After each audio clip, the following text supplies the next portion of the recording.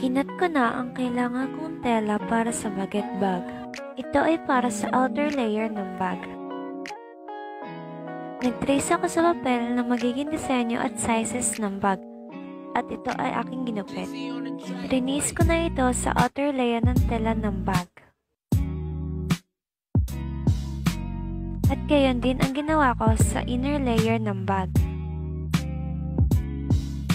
Ako ay gumamit ng sewing pin upang mapagtagpi ang mga kailangang itahi.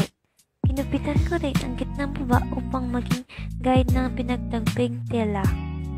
Dahil ako ay walang sewing machine, ako ay mano-manong nagtahi.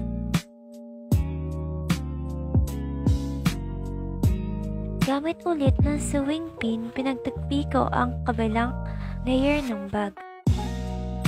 At tinahi ko ulit ito.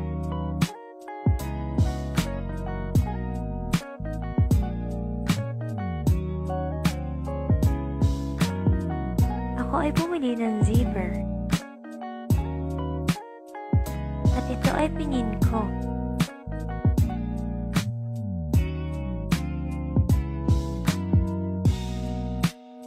Pagkatapos ay tinahi ulit.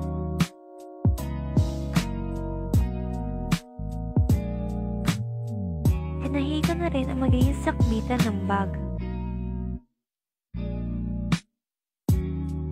Gamit ang measuring tape at blade, ibinaligtad ko ito at ipinansya.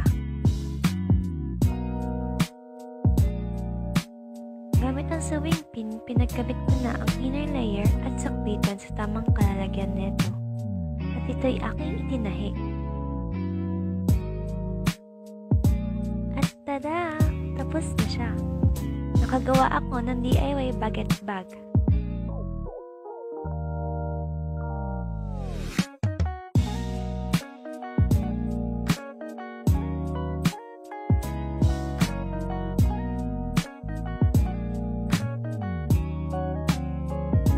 Ito ay sulit dahil zipper lang ang aking binili.